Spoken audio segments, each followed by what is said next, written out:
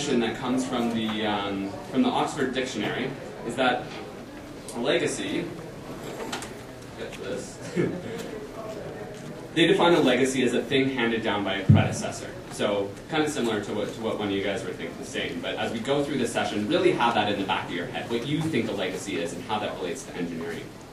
So now before we get started, I'd like everyone to take a moment, whether you have a, a pen and paper or whether you just want to think about it in your head. But what do you think the most important legacies of Canadian engineering have been in the past 50 years and what the most important ones will be in the next 50 years? I'm going to give you one minute to do that. So, great, thank you. Thank you for reflecting. And I want you to keep those reflections active in your head as we move into the, the panel discussion and, and hear from these, these very intelligent folks. Um, so to set your expectations for this session, I also just want to identify that, as you know, um, we're running we're running a little bit behind today. So this session was originally planned to be an hour and a half, and we're going to have to work within kind of between an hour and an hour and 15 minutes. So the two requests that I'm going to make is that um, our speakers um, try to keep their presentations between seven and 10 minutes. I'm gonna I'm gonna kind of have a, uh, a bit of a, a, index card here to keep them on track, and I'll also um, request that you guys have have understanding in that um, I originally set the expectation that they would have 10 minutes to present. So, so it might be a little bit rushed, but I want to make sure we get into a good conversation. Um, the, the other request that I'll put out there for you guys is to think about um, the questions that you want to ask and know that not everybody is going to be able to ask those questions, but you can, you can do it after the session. So without further ado, um, I'm not going to introduce everybody now. I'll introduce them as they come up. But our first, um, our, our, first person to, to discuss kind of comes from the industry perspective. And her name is Sandra Murray, and she's the um, president and CEO of Jordan Engineering. Um, it was launched out of her basement 11 years ago and located in Beamsville, Ontario. Jordan Engineering is made up of a team of engineers and computer professionals who design electrical control panels and custom tailored industrial software. But I think through my discussions and what I've really learned from Sandra is that it's much more than that, in that a third of their revenue every year is invested back into the community. So I'm not going to go any further, and I'll welcome Sandra up to um, begin her discussion of what she sees the legacies of Canadian engineering being. Thank you.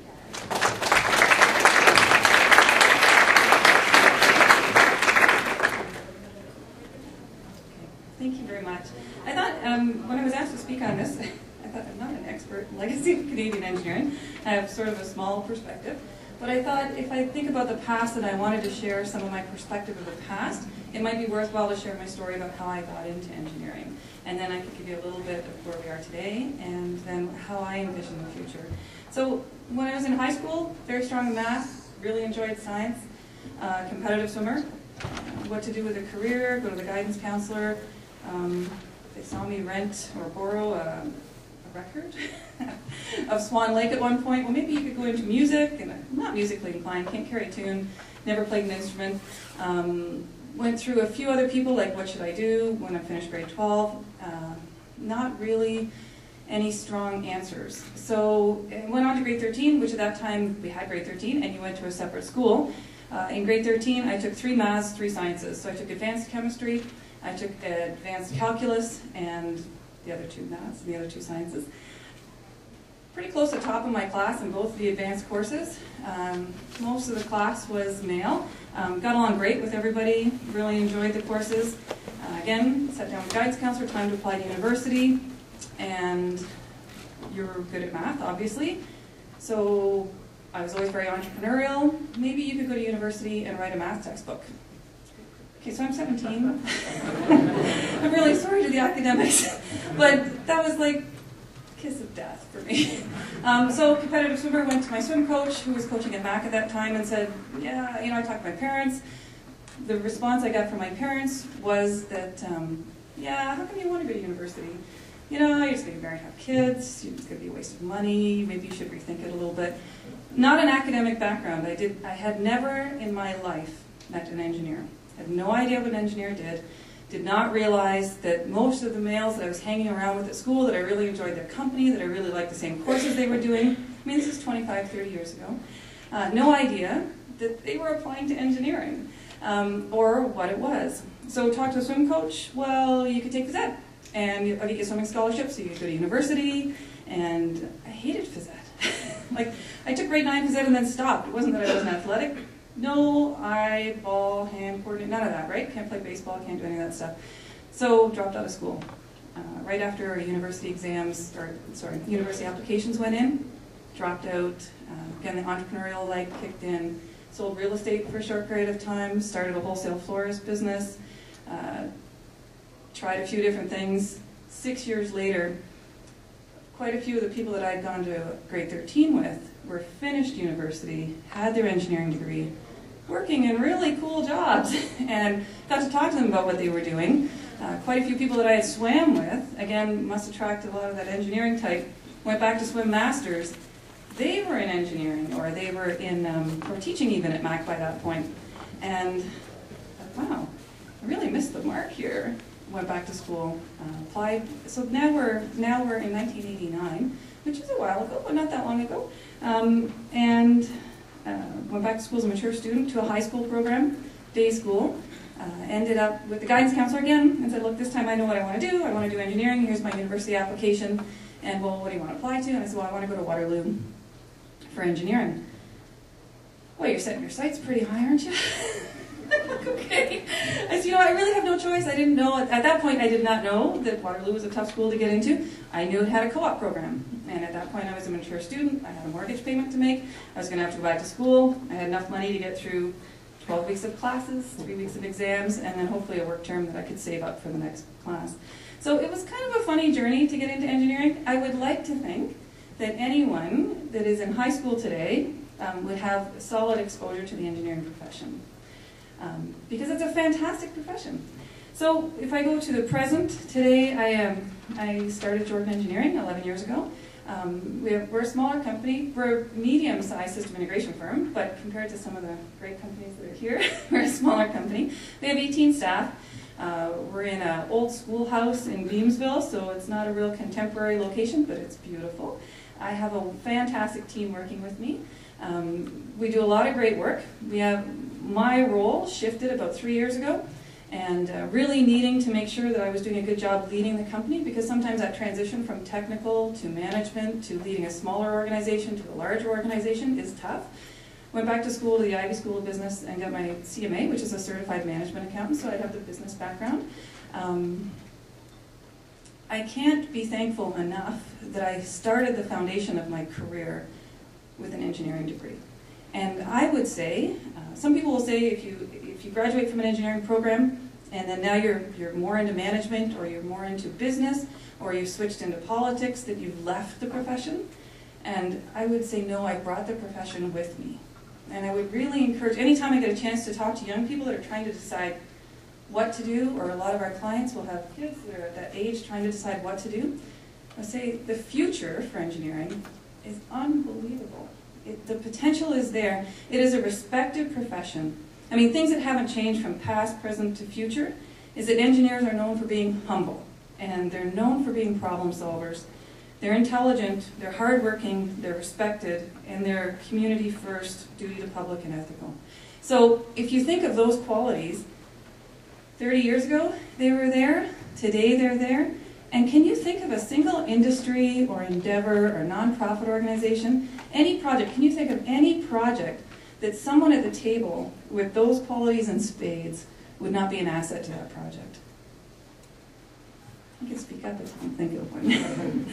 um, so for me, coming to the engineering profession laid a really strong foundation for me for my career, but then it also, if I look into the future, I would hope to see engineers more involved in politics and more involved in nonprofit organizations and more involved in boards and um, everywhere. I sit on I sit on the board for the YMCA. I used to sit on the board for Women's Place, and I know uh, we bring something different to the table, and it is invaluable. But I also take back at least ten times what I've brought to the table. You know, there's a whole other exposure to a different industry that has helped me build my company. Now, our company, I think my biggest engineering feat, some of you would say is not really engineering, um, but my biggest accomplishment was to engineer a corporate structure that I felt took the best assets from the corporate world and from the nonprofit world and combine them together. And that's, for me, was an engineering job. because I really had to look at the full picture, dig down into the details, and come up with an HR program that worked for people, come up with a profit sharing program, and come up with a link to the community. So I, I hope I've shared with you enough that you see how I see the future of engineering, and also how far we've come.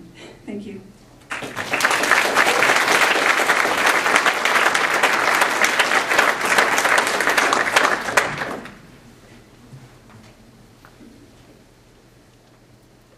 Get all my notes straight here. Thank you so much, Sandra. That was a wonderful sharing. Next up, I'm pleased to welcome Randy Pickle. Uh, Randy Pickle is the president-elect of the Canadian Society for Civil Engineers, and he's a senior project manager in the Toronto Infrastructure Group of Morrison Hershfield Limited. I'll let you, I'll let him tell you a little bit more about himself, but I think he'll share a very interesting perspective from an industry association.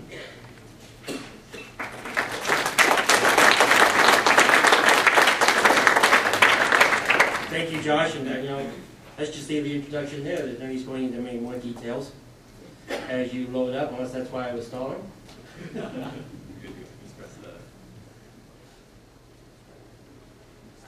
Okay.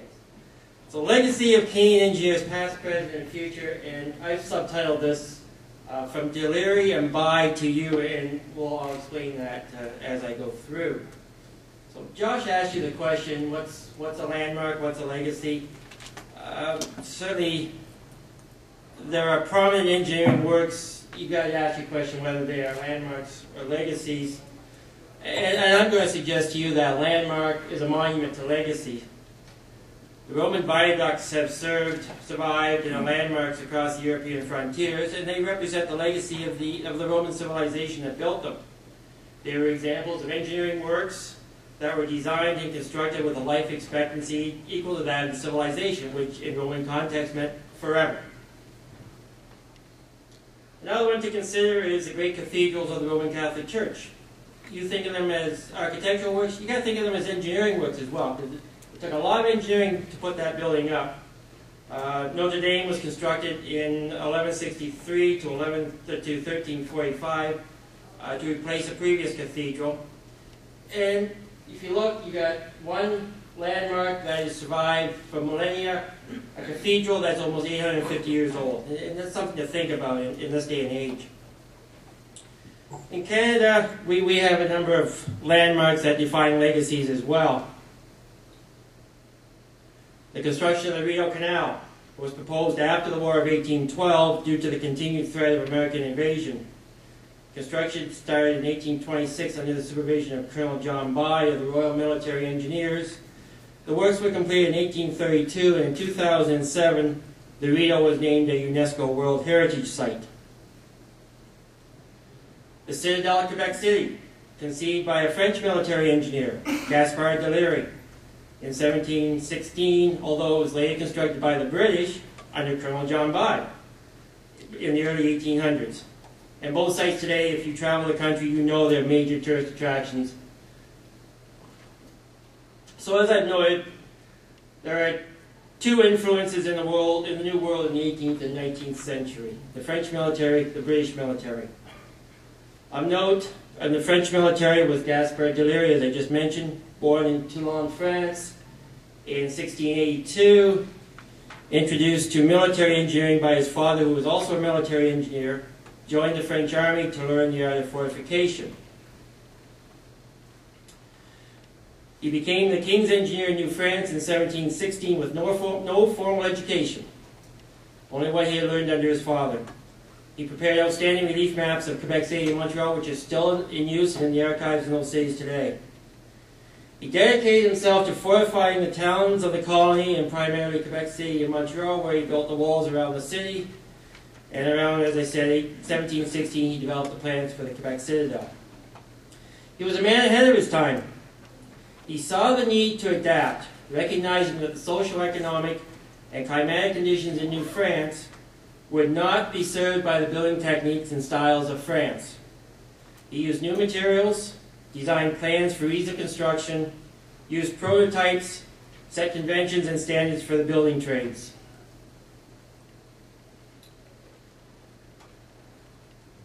The British military becomes an influence in Canada after the Battle of the Plains of Abraham in 1775 until the middle of the 19th century. and of note to Canadians is Colonel John By. John By studied at the Royal Military Academy, was commissioned in the Royal Artillery in 1799, but he soon transferred to the Royal Engineers. By 1802, By is posted to Canada to work, under, to work on fortifying Quebec City and to improve navigation on the St. Lawrence River. He returns to Europe to serve under the Duke of Wellington during the Napoleonic Wars, and at the end of the war, he retires, or so he thinks. In 1826, he's recalled and sent back to Canada to supervise the construction of a canal which would serve as a backdoor to Kingston, which was the Royal Navy base in Upper Canada.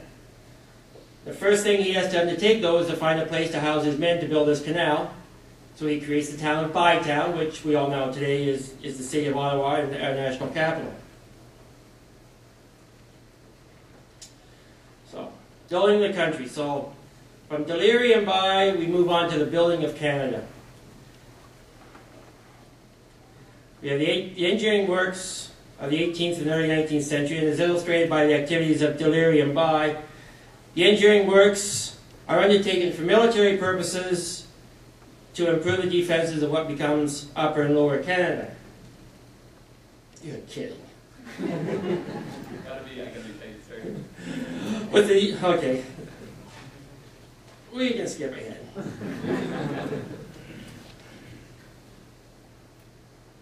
So in the 19th century, we move into works that are, are used to grow and expand, uh, unite the country. We have the Intercolonial Railroad that unites uh, the Maritimes in Quebec with a shipping route. The Lachine Canal, which improves shipping on the St. Lawrence River south of Montreal the Victoria Bridge for crossing of the St. Lawrence, across the uh, mouth of the St. Lawrence at uh, Montreal. Uh, the Canadian Pacific Railway unites Canada with British Columbia. And we finally have the expansion, the invention of universal time. Four main players in this are Hugh Nicol Baird, Walter Shanly, Thomas Keefer, and, and Sir Sandford Fleming. They all, if you'll if I had a chance, I'd go through and you'll see that they've all got extensive canal experience, railroad experience, uh, and that was the order of the day. You would move from job to job to job, and it was quite easy to leave a legacy of all those works that exist out there today that they accomplished.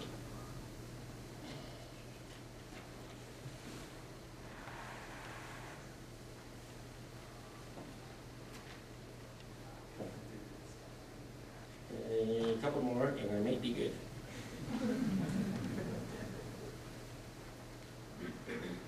So, works of the present. I suggest to you the St. Lawrence Seaway, the uh, system of locks and canals and channels constructed by the St. Lawrence Seaway Authority. Expo 67 introduces to North American engineers the concept of critical path management. The Confederation Bridge, a P3 project of the federal government, and the 407 Express Toll Road, a project, P3 project again of the provincial government.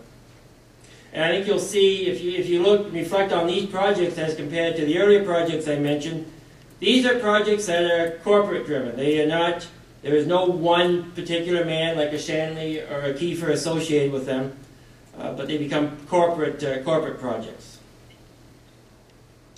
So our future legacy, well, our destiny is our, is our own control. Engineers, as technical experts, need to be more visible. We must be aware not just of tomorrow, but the day after tomorrow. At CSCE, we will be designing, we see that we will be designing and building infrastructure that is sustainable, meaning that it has a long life, is built in a way that requires less maintenance. When maintenance is needed, is provided in a timely fashion and from a budget that has been established for these purposes. Uses a minimum of non-renewable resources and can be repurposed.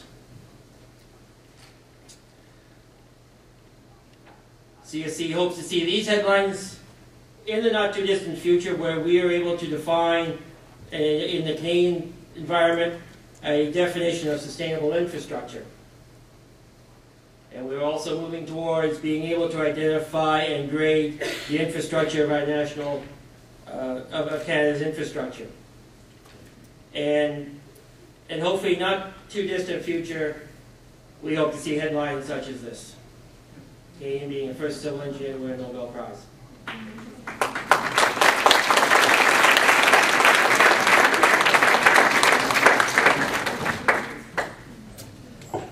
Excellent. Thanks so much, Randy. Um, you know I'm moving right along. I like to keep things going. So, um, Dr. Yuling Cheng is our is our next speaker, and, and Dr. Cheng is the director of the Center for Global Engineering at uh, the University of Toronto. And I think she's has some really interesting ideas around the academic um, area to, to share with us. So I'm going to get her uh, her slides up, and I'll let um, her finish the, the introduction.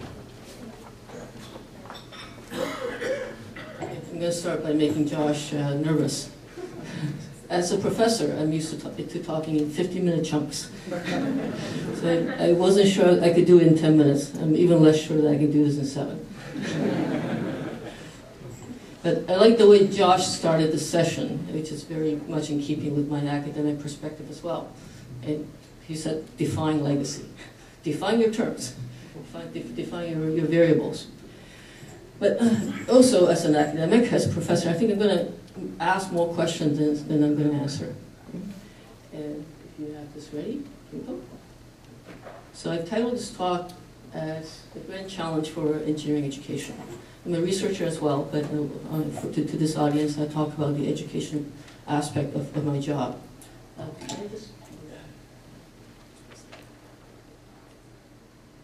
Um, so, it, it, I didn't quite answer the question that Josh asked me to speak to because I wasn't. I don't think of engineering as a Canadian thing. Uh, engineering legacies, I think, is a is a global thing. And uh, one of the most uh, prestigious engineering bodies in the world is the National Academy of Engineering of the United States. And in 2008, they a panel that they they convened uh, came up with a list of the 20 engineering achievements that they thought were the greatest engineering achievements of the 20th century. And you look at that, and yes, this is the legacy of, of engineering. Uh, can you imagine our lives without electricity, or a car, or airplane, or water supplies, or maybe too, not too many people listen to radios anymore? This is 2008, and if you were done today, you might have to include an iPhone and an iPad on there. but uh, look at look at these things and imagine our lives without them. That same same year, uh, the National Academy of, of Engineering also identified, and this is again with a, with one of the panels, a list of 14 things that they thought were the grand challenges facing the engineering profession in the years going forward. So these might be the future legacies.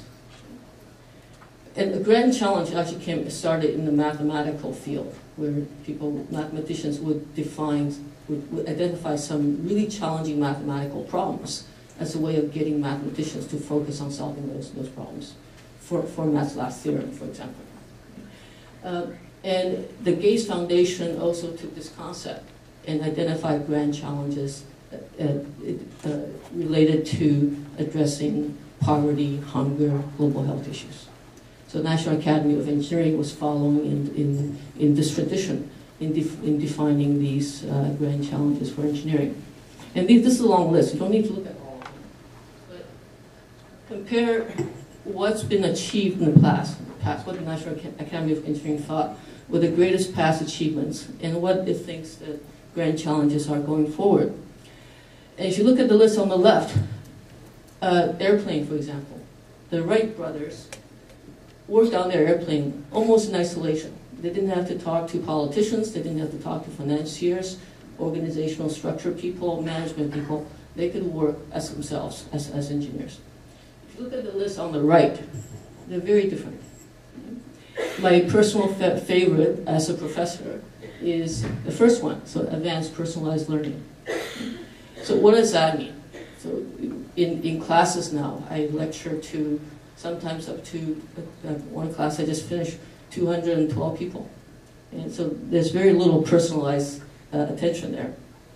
Personalized, one form of personalized learning would be something like an expert computer system where a student can uh, answer questions. You can you can do do some reading, answer some questions, but depending on how you answer the questions, how you answer correctly, or how you answer wrongly, the expert system can figure out gaps in your fundamental knowledge, fundamental understanding, or maybe preconceived notions that are wrong, or some tendencies in the way you think, and give you the, the appropriate next set of instructions to help you learn in the best way possible for you. A phenomenal image, ph- ph- ph- phenomenal vision from my point of view, but what would be involved in doing that? In the, not, it's not just going to be algorithms and computer programming, and not just a disciplinary knowledge, but the engineers need to be working with education spe- specialists, cognitive psychologists, in order to be to turn that dream into a reality. And I can point to every single one of these examples. And engineers would no, no longer would be working by themselves. They need to be working with psychologists, politicians, policy people, social scientists, and so forth, in order to, to, to, to turn these challenges in, into reality. And that's my, my very simple message. Right now, uh, my, my home department is chemical engineering. I'm the director of our Center for Global Engineering, but I do wear a different hat. And from the chemical engineering point of view, we teach math, physics, chemistry, it's a very long list of courses. Civil engineers would have a different list, somewhat overlapping. Electrical and computer engineers would have yet a different list. But how do we teach everything on the left and still get them to get students to understand things on the right? And how do we do it in an integrated way? Know, so ethics isn't set off to the side. Oh, that's ethics. That's not what engineers do. Oh, that's communications. Oh, oh that's leadership. That's not what engineers do. Okay? And I was, as I was thinking about this talk, I was reminded actually of uh, past experience. Uh, I, this was about 1994, 1995, and I was involved in setting up the first biomedical engineering undergraduate program at the University of Toronto, and that would have been the first one in Canada. And went through those same arguments. How can we teach all the engineering that students need to know, and still in, biology as well, because they would need to know both in order to be good biomedical engineers. And that debate doesn't exist anymore. So that debate now, biomedical engineers are as good in biology, the best biomedical engineers are as good in biology as they are in engineering. And why can't we have a kind of engineer that would know as much about society and social issues as they do about technical issues? And that, to me, is a great challenge for engineering education going forward. And I'll just leave you with a quote. Through the engineering accomplishments of the past, the world has become smaller, more inclusive, and more connected. The challenges facing engineering today are not those of isolated locales, and I won't read all, all of it, but also uh, meeting all those challenges must make the world not only a more technologically advanced and connected place, but also a more sustainable, safe, healthy, and joyous, in other words, a better place. And we want to prepare the engineers in order to cre- create a world like that.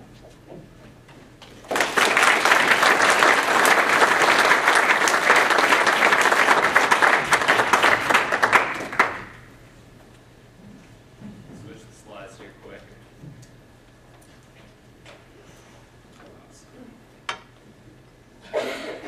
So I'm excited to, to next up welcome a, uh, fellow Vancouverite who's come all the way from the from the west coast to uh, to join us here, and his name is uh, David Helliwell. He's the uh, co-founder and CEO of Pulse Energy, um, which has a very interesting um, business model, which he, he might share a bit with you about, or you can look it up after.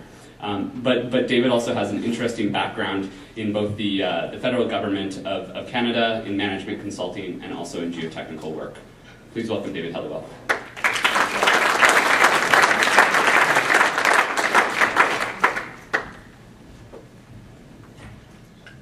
Thanks, Josh, and hi all. I, I should declare up front that I'm not actually an engineer, uh, but I, some of my best friends are engineers. actually, my, I married one. Uh, my, my wife Nancy is a civil engineer who's built all sorts of wonderful things. Um, I've been friends with George Roter since shortly after EWB started. Uh, the African Connection, I've been the token white guy on uh, three different African bands from Ghana, Cote d'Ivoire, and uh, Congo. Um, so, but I'm, I'm still, I, I was a geophysicist, so I was a member of APEG for a little while before I stopped being a geophysicist, and uh, not. So I'm going to talk to you more about a forward-looking uh, legacy for, for what, what engineers can be. And I'd encourage you to think of, imagine 20 years, 50 years from now, just the collective legacy of the people in this room, and imagine what, what that could be at home and abroad. And uh, I think it's, it's really, it's, it's amazing to think what each person here could, could do. So that's going to sort of be the theme of my 6.5 minutes. Um, I, I also want to recognize a couple, of, I've got a couple of colleagues here, Doris Tang in the back, who's uh, an Engineers Without Borders leader in, in Vancouver, Jamie McDonald, who's, just, who's more of an engineering tag-along, but uh, he's, he's, he's a policy wonk like, like me, and uh, now he's with, with Pulse Energy. And uh, so, two things to, to think about, uh, and then I'll try to revolve the next 5.75 minutes around, will be, uh, one is a, a brick metaphor, that if I were gonna write a, a business book, it'd be about this way of thinking about your career and you know, really building on the last point of there are so many things you need to focus on to be a really good engineer and a productive member of society, how you put those together.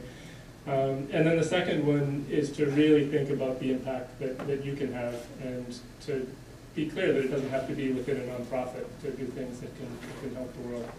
So briefly for the, um, for the brick metaphor, this is something I came up with, by the way, as I was looking for a job after I jumped around between being a professional windsurfing racer and an exploration geophysicist looking for oil and gas and looking for minerals and traveling all around the world and then trying to get a job as a management consultant and linking it all together. And also to get my mother off my back because she was seeing all my friends advancing quickly in careers and it seemed like every year I was starting from, starting from scratch. Um, but really what, what it is, is if you try really hard for a year and you learn a lot and you work hard, uh, you get a brick at the end. So maybe you're learning some engineering skills, maybe you're learning about public policy, maybe you're learning how to play guitar, maybe you're learning how to work in the bush, maybe you're learning how to communicate with people from different countries. These are all things that take a lot of effort, and if you work hard, you get something at the end of the, at the, end of the year. Now, the trick is that you need to, if, if you put all your bricks on top of one another, so say you do the exact same type of law every single year, after four years, you get a pretty good salary, your mom thinks you're getting somewhere. Uh, but you know, after eight years, ten years, you haven't done anything else, it gets a little wavy, as our civil engineering brothers and sisters could, could, could tell us. But if you have a foundation of things that are in a reasonably coherent area, you don't need to over-design exactly where every brick goes, but they cover off a little bit of an area, um, yes, your mother will, for the first four or five years, when she can't see any bricks above the grass, give you a little bit of grief. Um, but once you start building on those and, and, connecting things, it starts to be something really, really powerful. So I'd encourage, you know, particularly, um, so how many how many people are there under 30 in the room here? Okay, and if you're not quite sure, okay, leave your hands up just a second. Now, and, and if you're not quite sure what you want to be doing in 10 years, leave your hand up. Okay, good. So anyway, the brick metaphor is kind of for you. And for the others, you should probably think about it anyways.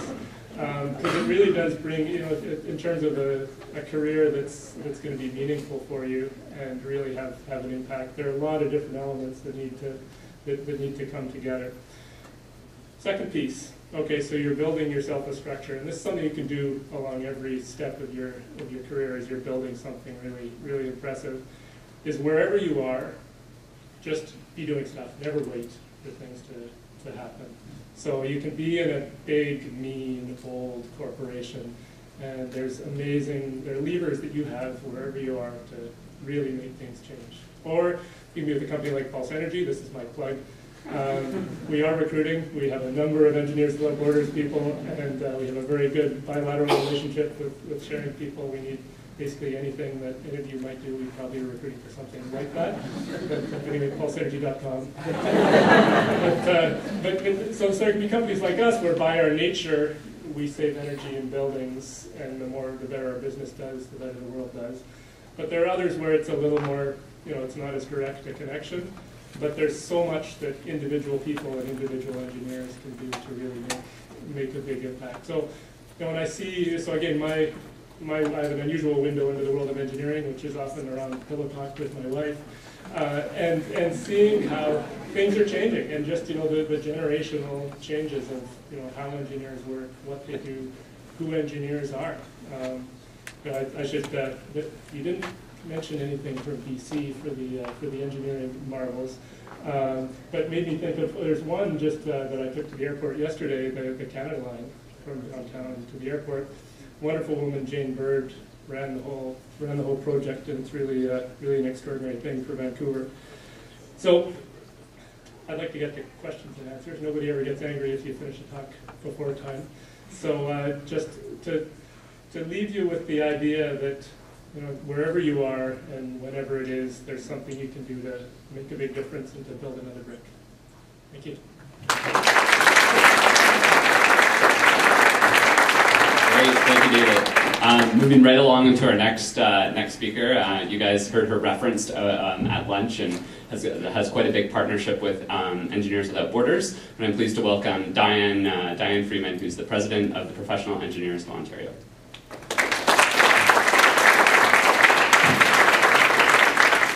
Good afternoon. And just while Josh is loading up my presentation, I'm going to get started in conservation of time.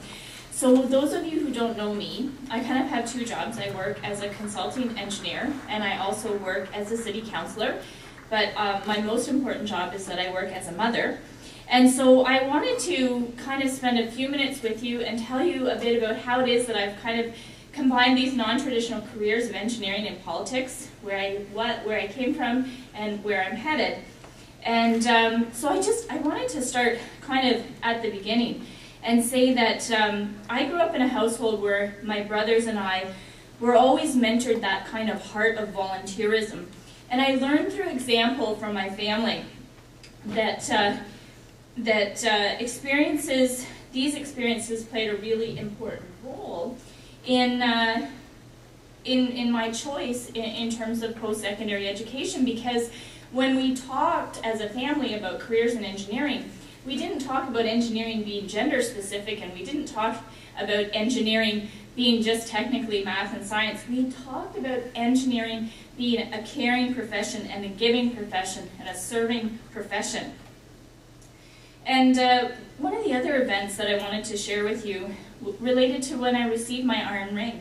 And just that whole notion in the iron ring that engineers are called to serve was very profound to me. And it, and, and it really it really makes me say that we need to, as engineers, take a step back from our day-to-day -day routine and consider the fact that our work has to serve a larger community. And I really truly believe that if we all do approach our work, whether it's engineering or volunteerism or parenting, from that perspective, that we're giving back to a community in which we live and designing for people who need us and creating to make our world a better place, then a lot of people have a, a much greater ability to identify the importance and the relevancy of our engineering. And the last event that I think was very significant in my decision to enter into politics related to something associated with my, my being a mother of two small children. And, and I said this earlier today when I was together with some folks that I think we are going to make the the strongest community is, or the strongest uh, difference as an individual when we're placed in a position where we're uncomfortable. And we're very uncomfortable, and that is going to force us to think innovatively and to make change. And in my case, I was really uncomfortable with the state of childcare in the region of Waterloo. And it was out of that lack of comfort that I found a few other folks that felt the same. And back in 2000, we came together to build the Butterfly Learning Center. It's 10 years later. It now operates at two locations. It provides care to 148 children on a daily basis and employment to 30 staff. It's led the way to raising the bar of childcare in the region of Waterloo, and it was recently chosen the number one childcare center in Waterloo region. And it was really during the development of that childcare center that I very quickly came to realize that policymakers and government decisions have very, very profound effects on the ability of companies to do business, be it in a municipality or within the province of Ontario. That daycare was regulated by the Day Nursery Act, and we had to go through a whole process of getting all the planning approvals and everything right to build that daycare. That's when I met a mayor, and she said to me, Diane, when are you going to run? And so I really thought about that. And in 2006, a ward became available in Waterloo where there was no other councillor running. So on May 27th, I signed my nomination papers.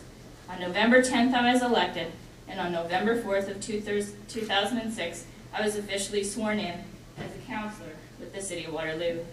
And why did I run? There was two reasons. Exactly what I said before. I believe engineers are called to serve, and that serving as a politician is absolutely a calling. If you think you're getting into politics for the big check at the end of the day, the, the wake-up call is there's no check. The, you know, the, the other thing is, is that I really believe women bring value to decision making, and that was said earlier, you know, that sometimes, and, and so I just think gender diversity and, and, and diversity in general brings value to the decision making. And so that's what I put on the ballot, was engineering and being a woman. I now am entering my second term as a councillor. It would appear as though the citizens of Waterloo twice felt that those things brought value to the table. And I wanted to share with you what I think are kind of the, the, four, the four things that engineers bring to a policy decision-making table. One of them is I think they bring an analytical mind. That ability to, to pursue a decision not based on emotion, but rather based on all of those technical facts. And that doesn't mean that you don't have to be passionate about the decision. It just means that you have to have the fundamental reasons behind you as to why it is that you made the decision, and then you can be passionate about it. And then the other thing I think that engineers bring is they, they bring this whole notion of working collaboratively and working on teams. And I think that collaborative decision making facilitates looking at a variety of decision options. And I also think that it helps to look at things like partners and delivery. And this can be particularly important when you're in a, when you're making decisions in a highly constrained budget situation. And, and an example I brought with me was uh, the example of constructing a new recreation facility in the region of Waterloo, in the city in particular. And the only way we were going to get that constructed based on our fiscal financial constraints was that we needed partners. And so we partnered with the YMCA and they built the fitness facility and the swimming pool and we partnered with the University of Waterloo and they leased land to us and we serviced university land so they can grow and build. And the third person we partnered with was the library and we built a library. It's not open yet, but it's going to be a great facility it is. I also think that engineers have a willingness to set out the ground rules as givens. And basically what I'm saying is that the laws of physics can't be broken. So, so when you're sitting around a policy decision making table, I think it's fundamentally important that at the end of all things, you're going to end up with a decision that's implementable, that is within the mandate of what you're given, whether that be the Planning Act or the Municipal Act or whatever, and that it's actually going to bring value to someone. And, and so I, I think that as engineers, we're really good at that. We, we, we have a willingness to say, well, let someone else derive the formulation, but I'm going to use the formulation to create something, whether that's a bridge or whatever. And um, I have an example of a Planning Act application, and I can chat about that later. But the, the last thing I think engineers bring is I think that the language of technology is cross-cultural. And we heard that this morning. That gentleman from Kenya, he said, yeah, I got the blue screen of death. We all knew what he meant, okay? You don't have to live in Kenya to know what the blue screen of death means. And, and so, you know, that's what, that, I think that's true. Like, and, and, and I think that when we're technically minded, we enter into similar conversations which help us to work collaboratively and build to, to teams. And, and I specifically feel that in politics, people have on many of an occasion come up to me and said, are you so stupid, how could you support that? And you know, to be able to sit down with them, and the example I showed here is a roundabout. We had to make a decision.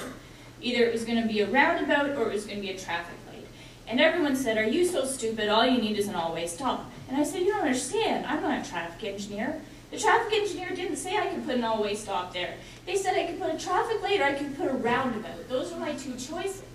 The roundabout's 98% cheaper and it's 50000 a year less to operate and manage. So those were my choices and I picked the safer option. And the guy says, well, I don't think, I never thought councillors worked that hard, for one thing, that they read that stuff. And the second thing was, I still don't agree with your opinion, but I appreciate the fact that you have a reason how you came to it. Okay, and, and that's the givens as far as I'm concerned. And you know, the, the last thing I want to share with you is that being an engineer and a wife and a mother in public office, it's not without its challenges. And, you know, but I think that engineering helps you to be prepared for that. I've worked as a consultant my whole life, early mornings, late nights, meetings at all times of the day. So I felt like I was totally prepared to go into that public office and continue to do that consulting life that I'd always had. And I think it's really important as, as parents to mentor your children in volunteerism and mentor your children in public office. And so I love the fact that I can do that. And you know, my son's, I said to my son one time, I said, you know, Scott, people really think that I choose to sacrifice time away from you and Adam and Dad to do all the things that I do. And my son said, Mom, that is not true. Right? Like, this is a kid who's 15 years old.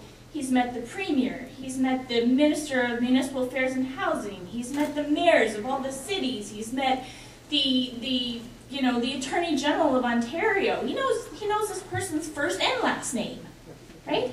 My kids see value in that, okay? Those are good things. Those are good outcomes. Those are our next generation. And you know what? Jane Jacobs said that good public policy is developed when the policymakers can keep in their mind's eye the people affected. And I believe that engineers have the best skills and the best tools at their ready and at their resources to make Jane Jacobs' vision come true.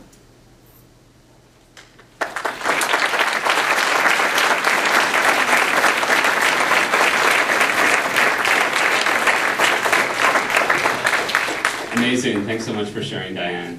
And I think I'd like to request of all of you a, another warm round of applause for, for the amazing.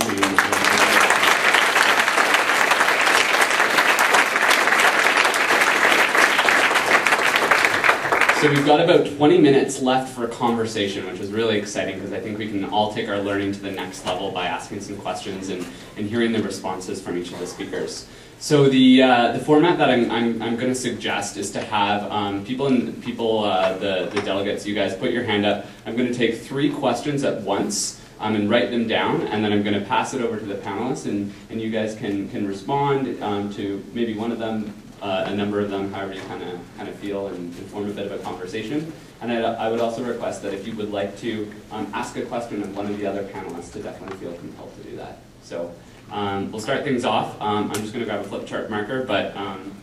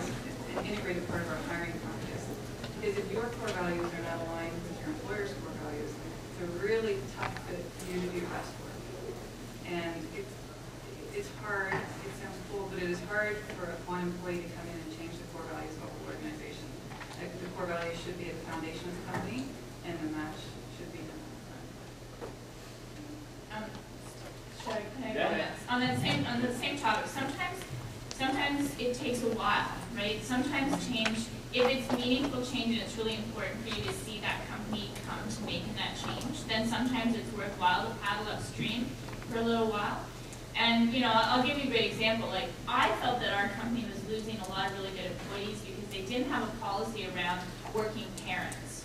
And typically they were losing all their women engineers because they'd have a family and then they, they wouldn't come back. And so I really pushed the company to think about working part-time.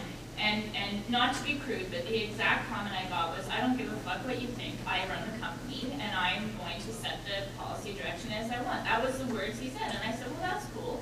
I don't think your policies are in keeping with where the world's headed, and I don't think it supports families, and I don't think it works supports women's professionals, and you're gonna write a contract that I'm gonna have to sign, and it's gonna be nasty to me. Thank you. But you know what? Five years, ten years later, there's a total shift in the company, right? That particular individual is not in a decision-making position anymore, and the company does not feel that way about it. But it did take someone to step up and say, and not give up on the company, and say, this company is worth investing in. I do not believe that one person speaks for all, and I'm gonna stay the course.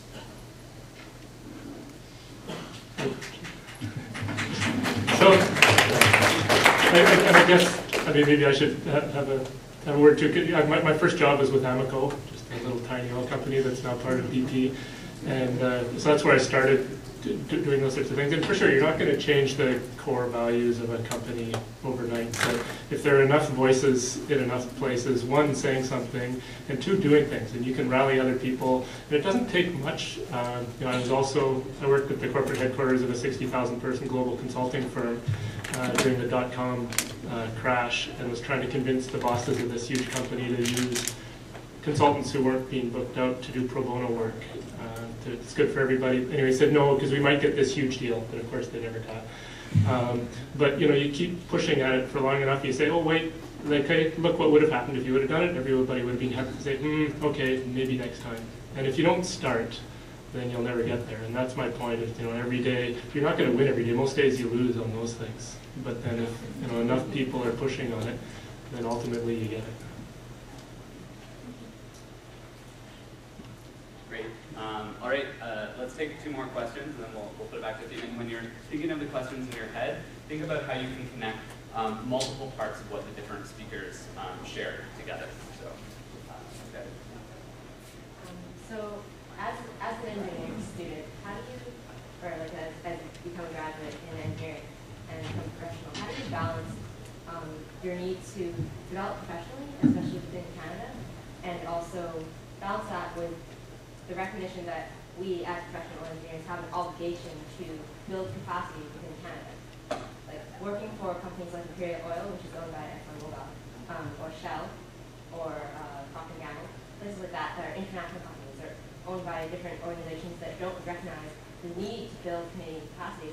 How do you how do you balance that with your own personal development plan and um, career goals? Great, and let's take one more question. Yeah. Uh, hello, my name is Darcy. I'm from the University of Ottawa. I'm in my final year of engineering and graduating in April. And my question to you would be, as leaders in your field, what would you consider the three most important qualities that you're looking for in young engineers who are trying to start their career? Um, on the building capacity question, um, I, I think that if, it, might, this might sound like a very simplistic answer, but you live in Canada, you care about the country, so whomever you're working for, you're actually building capacity. And you might decide that, that you, like, I just think there's a lot of transition in the engineering field, and that engineers gain experience from a whole bunch of life experiences, whether it's actually a technical working experience, whether it's a volunteer experience, whether or not it's, um, um, you know, a, a leadership experience. I think that I think that as we do that as engineers, we, we inherently build capacity. And you know, one of the greatest examples that I heard was from um, the the dean of engineering from Western, and he basically said, Canada needs to make an increased investment in foreign students to our institutions. And why? Because if you receive the right hand of friendship from a country such as Canada and you learn a fantastic and gain a fantastic education, then even if you go home to your home country to work, you are never going to forget what the Canadian people gave you. And you will seek ways to continue to invest in that Canadian culture that gave you your education. And, and there's multiple evidence of that. So even though it's not Canadians, it's foreign, foreign trained uh, engineers or whatever. Capacity is being built all around us, and, and so I think that we just have to continue to support that growth in all areas, whether that's foreign students, whether or not that's foreign trained engineers. We have graduate, we have licensed more foreign trained engineers at professional engineers in Ontario in the last five years than we have Canadian engineers. I think that's capacity building, I do. Thank you. Would anybody else wish to share some thoughts? Next question. Should, should- should we answer both at once, or? uh, Yeah, either like both at once, either one, whatever you're, whatever. Okay, So, um, but I guess I'll talk about the second question, uh, what, what are the three most important qualities? There are actually many qualities, but, um, uh, and I'm not sure these are the top three. Uh, One I would have is uh, very close to the top, if not at the very top, is the, the ability to keep learning. And we can't possibly teach you everything there is to know. And, and if your knowledge is going to be limited by mine, and then the next professor who taught, who learned from me is going to limit the, the learning of the next generation of students. Pretty soon, we're going to be in deep doo-doo. and so hopefully you're going to be learning a lot more. I, my, my ambitions for my students is that they become smarter than me. And if every generation is smarter than the previous generation, then we're in good shape. Then we will be in good shape. So that, that's number one, the ability to, to keep learning. Uh, and second point is maybe also related, is to be open-minded. Don't, don't peg yourself as an engineer, and engineers only do this. Uh, listen to other ideas, learn whatever you, you think is important, whatever you think is interesting to learn. And it's actually very similar to what David was saying about building bricks. Learn. Everything you learn is, is a brick. you know, And, and the, at the end of wherever you are, what you're worth to a potential employer or a potential uh, community that you're trying to serve, your value is integral of your life's experiences up to that point. And whatever, the more effort you put into learning and, and building your own skills, the more useful you're going to be. And I, and actually, aside from those two, the other things are, are much less important to me, so I'll just stop at two. I've- got a quick list. Um, So I'm I'm assuming that there's a foundation of actual engineering skills that that just a basic. Um, So first one is integrity. Uh, Second one, mix- mixing two things that are sort of connected of passion and perseverance. That you you need both of those to get things, to get things done. And then creativity, which obviously you don't want everywhere in engineering, like for what the rivets are going to look like to hold an airplane wing together, but there are a lot of things that need creative solutions and, and creative thinking. So those are the three most important qualities. Uh, in terms of the building, the uh, I was a Canadian expert in the brain drain in 1997. I wrote a couple of papers, and we actually stopped to you know, help, to put together, put down the whole idea that there was a brain drain in Canada. It turns out we are net gainers of, uh, of people from around the world. We get more um, masters and PhDs than we lose bachelors. It's, it's quite something. So, but for that, the, the big firms in Canada are a great place to train and learn, and then go and spin off and join something smaller and come to Pulse Energy.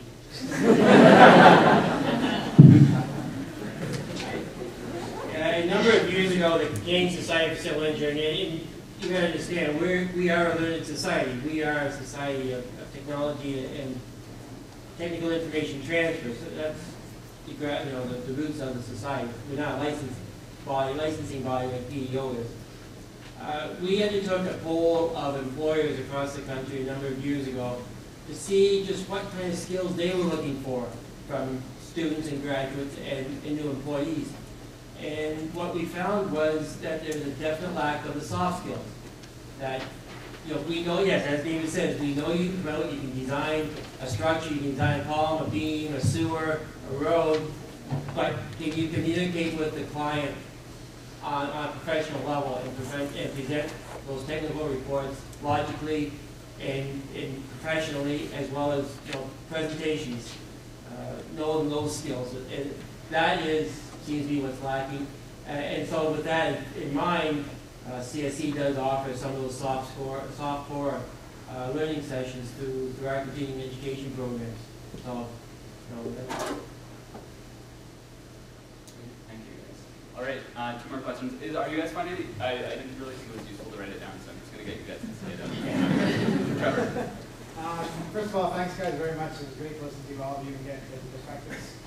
Um, I had a fascinating conversation with somebody at lunch today, uh, an engineer from Hatch, and we were discussing the relationship between um, Engineers Without Borders and the Professional Engineering Society, and we have a lot of experience up there to speak to that. Um, and he was kind of challenging me on how we can uh, engage the Professional Engineering Society, um, given the challenges of professional engineers heading overseas and volunteer placements, the way EWB works. Um, and he was, you know, trying to push me as to how EWB is going to engage the wealth of experience and knowledge, and I didn't have a great answer for. Um, I'd love to hear some of your thoughts. Um, Diane, given the recent uh, agreement between PEO and Engineering Borders, uh, and the rest of you out there, how can the EWB effectively engage um, professional engineers who have great experience, um, but aren't necessarily in the same position as uh, you know, some of us young engineers who are willing to go chasing uh, off after for years? Well, I think that, I think there's a, a series of ways in which EWB has already engaged. Um, I, I think that the partnership that we've started is really, is, is really at its early stages and, but very exciting. I, mean, I must share a lot of George's excitement that he, he spoke at, at luncheon.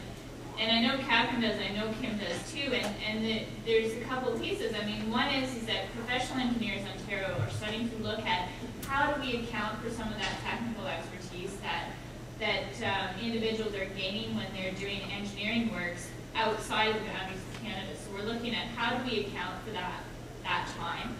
Um, and we're also working with Engineers Without Borders to help them to see value in undertaking their work under the, under the auspices of being a licensed professional.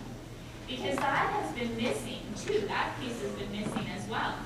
And I'm really passionate about that piece because that gets right to the core of what I was trying to talk about in terms of the relevancy of the PEng license. And the fact that we as professional engineers um, should be judged not only on whether or not the design is technically competent or sound, but whether or not we demonstrated a high level of professionalism in delivering on that, and that the work that we did brought value and relevancy to the lives people that we're trying to do work for. And I personally believe that much of the work EWB is doing does exactly that. It brings value and relevancy to the lives of the individuals where they're working. And I just, in a perfect world, I'd love to see every person doing that work be a licensed engineer. So that that, that work is being acknowledged as being professional and relevant. And so I think those are ways in which we can work together. And, you know, we've got a mentorship program, we have a student membership, student membership program, we have a mentorship program. If you're currently a student right now, our student membership program is free, sign up for it, join. If you're, if you just graduated or you're graduating in May, the, the engineering training program is free for the first year. Just register for it. And then there's mentorship opportunities within that. And PEO is looking at other opportunities to strengthen and build on our, member, on our mentoring of, of new young professionals. And, and so I think that, like I say, we're at that early step of working together. And I'm excited to. I'd like to add, no, sorry, Um, and from a corporate perspective, um, we've really had um, some really great opportunities presented to us because of our relationship with EWB. And I think it, it is a, it's a great retention program for employees because the work is more meaningful. Um, earlier this year, I was fortunate enough to be able to go to Zambia and firsthand, I mean, after a de- almost a decade of supporting EWB, uh, go see some of the work. And through that, um, there was two different organizations that we were introduced to, and each of those had a spot where we could volunteer some time, volunteer some resources. Um, there were there was a wealth of opportunities for Jordan to get involved and be an in-house project. Next time we went to bid on a job, people asked us if we did any global work, so actually, we're doing a project for in Zambia right now. So I mean, it was, it, it gave us an opportunity to grow as a company. It gave us a meaningful project work to give, not that the other project work's not meaningful, but it has special meaning to some of the staff. Um, potential for them to go on site to transfer knowledge. And yeah, the, the partnership, it's really hard to find enough ways to give back to EWB for all the benefits that we get from partnering with them. The uh, Canadian Site Civil Engineering has been working with EWB for a short term now, but uh, we, our two executive directors have been in discussions. Uh, We are offering our resources to EWB. Uh, Recently, I believe there was a mentor, uh, a mentor uh, opening at uh, EWB that needed to be filled. Uh, CSC helped out by broadcasting it to our members, and believe that process, that uh, position's been filled through through our efforts in helping out EWB, and, and we're looking, we had a roundtable discussion uh, earlier this morning on, on these kind of topics. Certainly, uh, you know, CSC is looking to move ahead and, and be a resource uh, to EWB as well as uh, ensuring that our members are well aware of what EWB stands for and what it can do, and and maybe provide opportunities for them as well.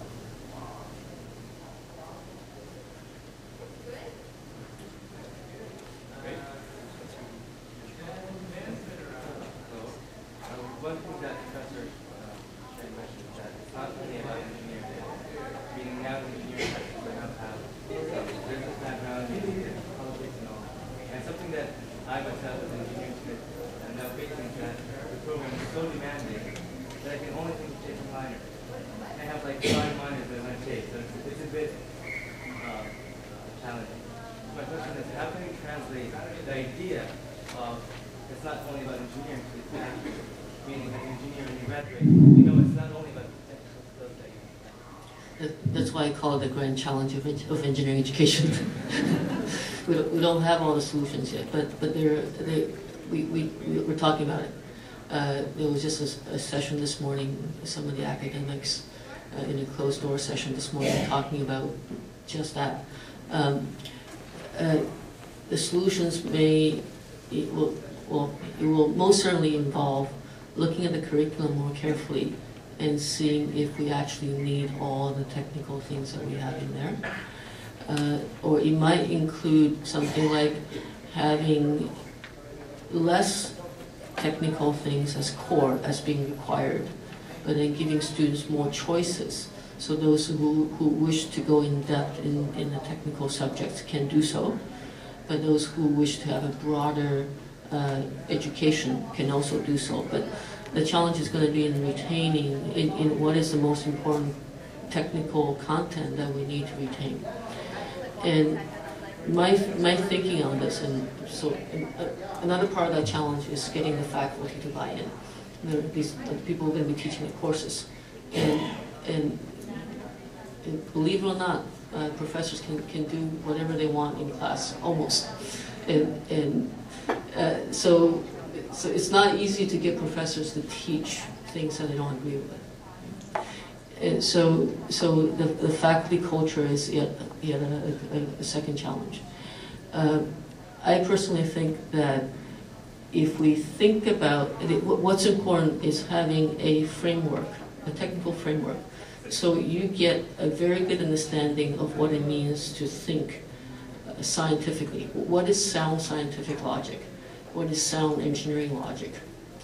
And having the, the vocabulary and once you have the basic, it's like having grammar and, and, and vocabulary in English.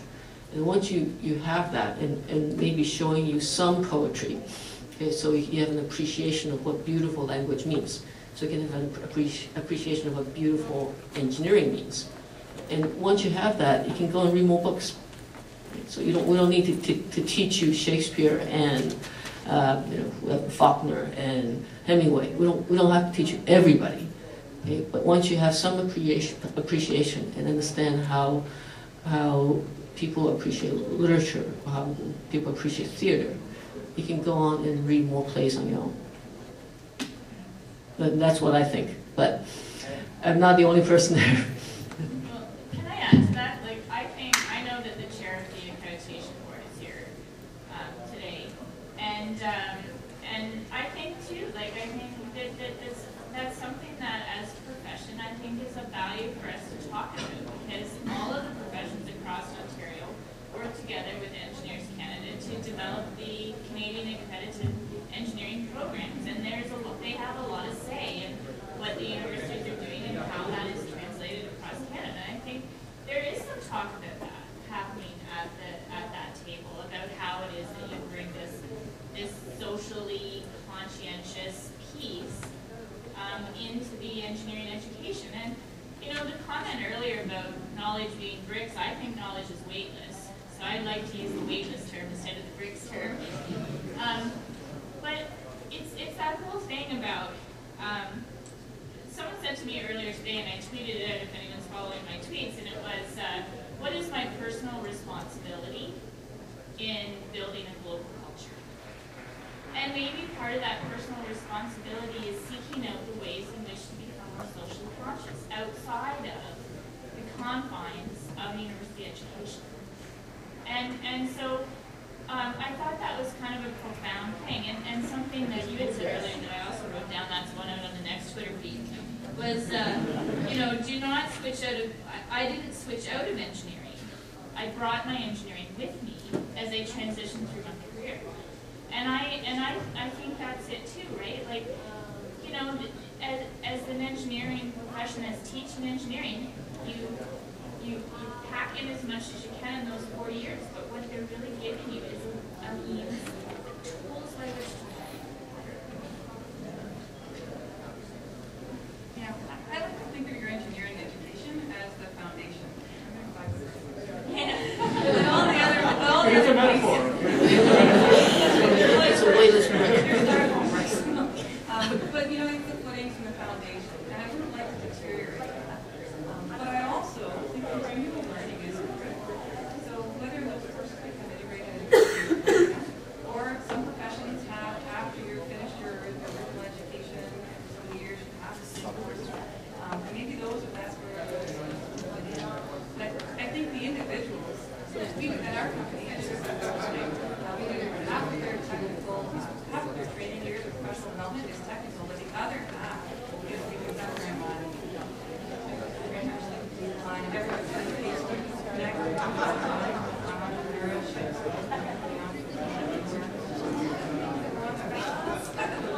We have our and it's not a good organization, and it's a good